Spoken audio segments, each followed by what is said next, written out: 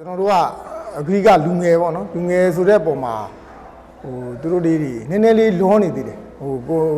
ရဲရဲဒီတက်ပို့ပြီးတော့ရဲရဲသွားနိုင်မှသာကိုရနိုင်မှာအဲ့ဒီအတွက်ကျွန်တော်တို့တွေနည်းနည်းလေးတော့နော်ကလေးတွေယုံကြည်မှုရှိရှိနဲ့ရဲရဲတွန်းတွန်းတိုက်တိုက်နဲ့ရဲရဲတင်းတင်းကစားဖို့လိုပါသေးတယ်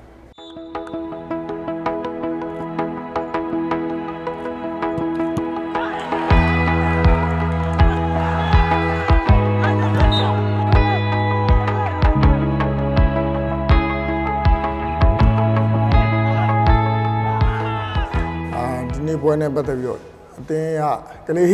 တော်တော်ကြိုးစားကြတာပါဒီနေ့ဆိုရင်ဟိုအဓိကကတော့အတင်းအနေနဲ့ကတော့ဒီ finishing ဘိုင်းပေါ့နော်အဆုံးသက်ပိုင်းအားနေတဲ့အတွက်ဒီရလက်ကဟိုမပြောင်းနိုင်ပါဘူးတည်ရဖြစ်သွားတာတကယ်တကယ်ဟိုကိုသွင်းခွင့်တွေမှာအပိုင်နိုင်သုံးချနိုင်မှာပွဲတစ်ပွဲကအပြောင်းလဲဖြစ်တာဆိုတော့အဲ့ဒီဆုံးသက်လေးကျွန်တော်တို့ပို့ပြီးလေ့ကျင့်ရမှာပေါ့အခက်အခဲဖြစ်တာဆိုတော့ကျွန်တော်တို့ကလူငယ်တွေအခုဆိုတွေ့တာပေါ့စွမ်းထက်တို့အောင်ပြေဖြိုးတို့ လူငယ်တွေကသူတို့အားရှိတယ်အားနဲ့ကစားတယ်ဒီဘက်မှာသူတို့နည်းနည်းလေးလောနေသေးတယ်အဲ့ဒီနည်းနည်းအလောတကြီးဆုံးဖြတ်တဲ့ဟာလေးတွေပေါ့နော်ဟိုပိုရဲဒီတက်ပို့ပြီးတော့ရဲရဲသွားနိုင်မှသာကိုရနိုင်မှာအဲ့ဒီအတွက်ကျွန်တော်တို့တွေနည်းနည်းလေးတော့နော်ကလေးတွေယုံကြည်မှုရှိရှိနဲ့ရဲရဲတွန်းတွန်းတိုက်တိုက်နဲ့ရဲရဲတင်းတင်းကစားဖို့လိုပါသေးတယ်အာပနဒီကဟိုလေ့ကျင့်တော့ဆိုသူအကောင်းဆုံးပဲ တကယ်လဲပွဲမှာကွန်ပျူတာရှိရှိကန်မှုအတွက်သူ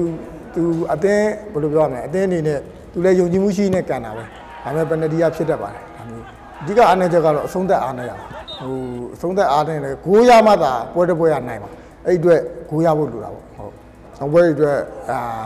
ဒီအခုဆိုရင်ဒီပွဲမှာလဲဟိုပေါ့နော်တချို့ပလီယာလေးတွေအာတိုက်စစ်မှာဟိုပို့ပြီးအသုံးသင့်မဲ့ပလီယာအခုဆိုရင် ကျွန်တော်တို့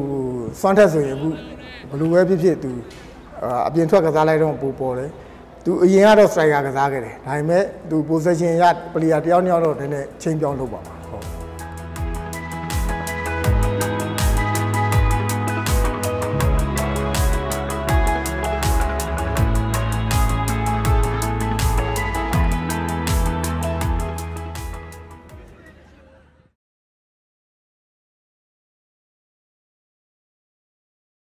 ဟုတ် Thank